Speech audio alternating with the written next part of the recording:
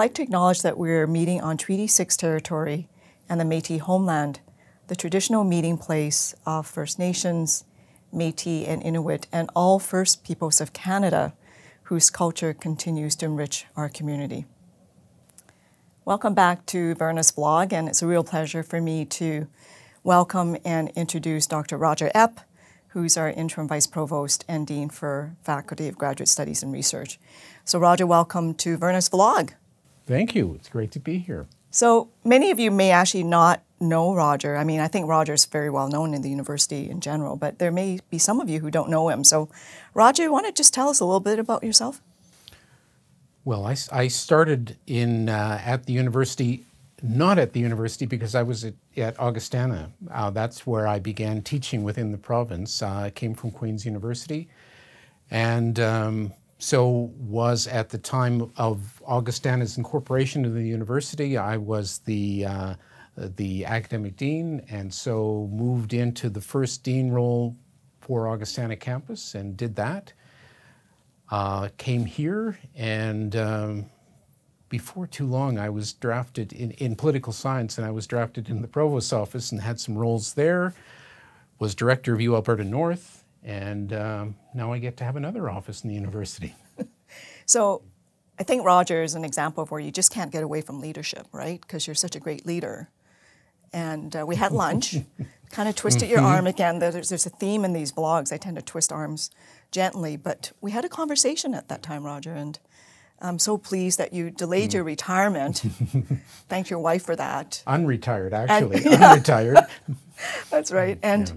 So I think when we had chatted about the role for FGSR and really taking a, you know a bit of a a pause and sort of relooking at where is graduate um, students and studies going, and you know, graduate students is such an important fabric of our university. They're so critical in many ways, not just in terms of research, but in terms of teaching, and of course all our faculty and staff who support them. And we just need to make sure that we've got the right system, the right processes, uh, the right supports for them in place. And so, Roger, tell me a little bit about what it's been like uh, since you started not too long ago and what's been your observation. Well, I probably told you at that first meeting that I didn't know a lot about FGSR. I have been, I've had the privilege to be a supervisor, and um, and I guess I would say I bring a bring a heart for students to this. I have some sense of, of what it is to be a graduate student here but because I was new to the office, I have done a lot of listening. That's, I suppose, my nature anyway. I have, so I've tried to talk to a lot of people about um, what I need to know to do my job.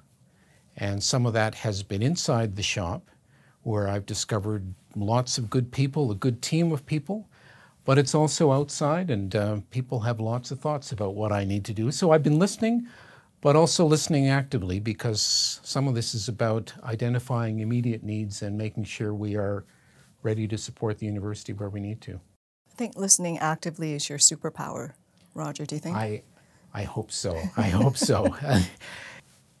and it's it's fascinating because you quickly get a sense as you talk to people from across the university that there is no prototypical graduate student there are many kinds of situations in which graduate students find themselves. There are different funding sources, the meaning of what it means to do your work as a, as a grad student, very different across the university, and yet there's a common core of experience we want to work at. And FGSR needs to be a really active partner in, in, in supporting that work throughout the university.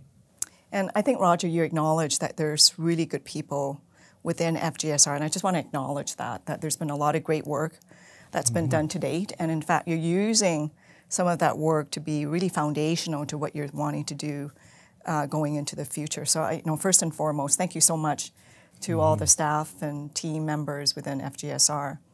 So, looking out a few months, and maybe not even a few months, but even into the next month, Roger, what, what are you planning um, for FGSR?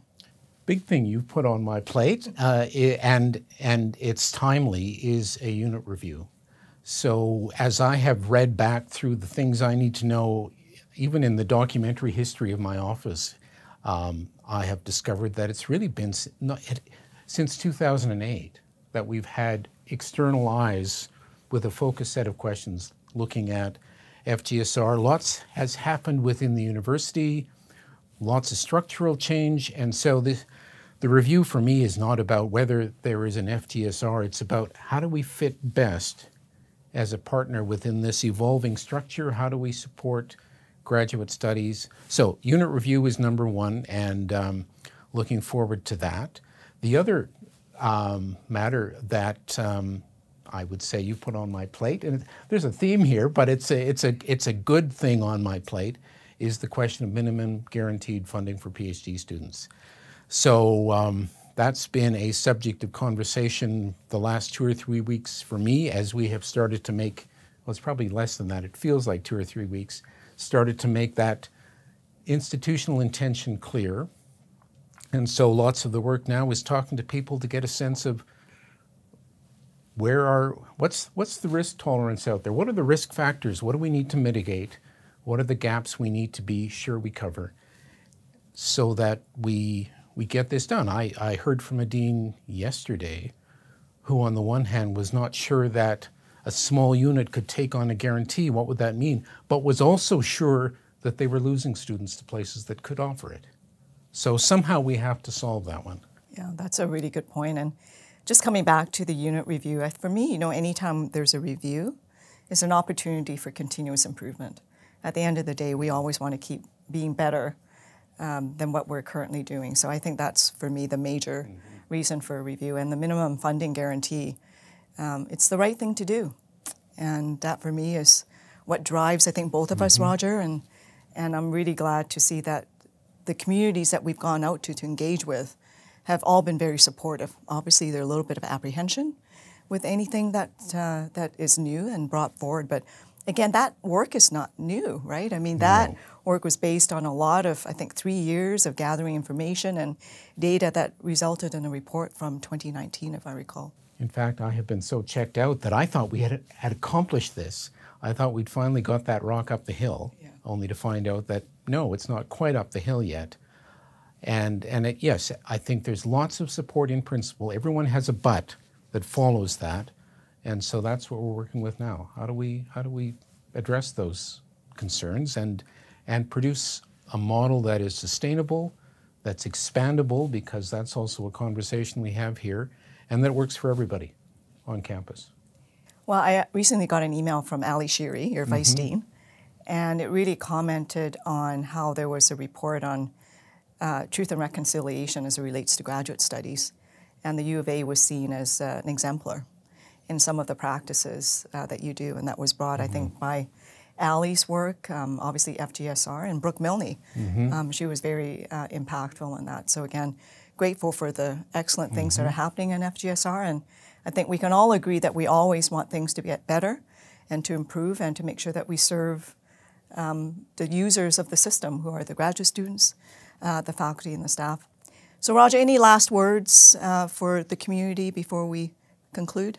This has been a, um, a decision week for us, and so yesterday we sent around communications to the effect that we were temporarily waiving application fees for Iranian students. Uh, really pleased that we were able to get to this point.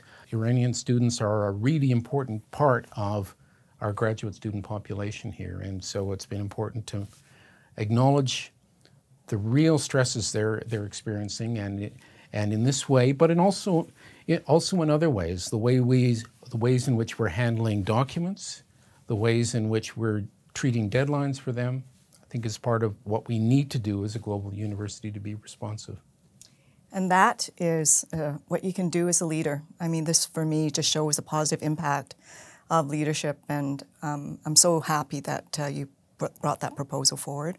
Roger, again, it's the right thing to do uh, for us as a University of Alberta and as a global university. So thank you so much, Roger, for everything that you're doing and that you will be doing. Really um, appreciate you and am so grateful again uh, for your leadership and everything that you've done for our university. And I'll say the same. Great. Thank you to everyone.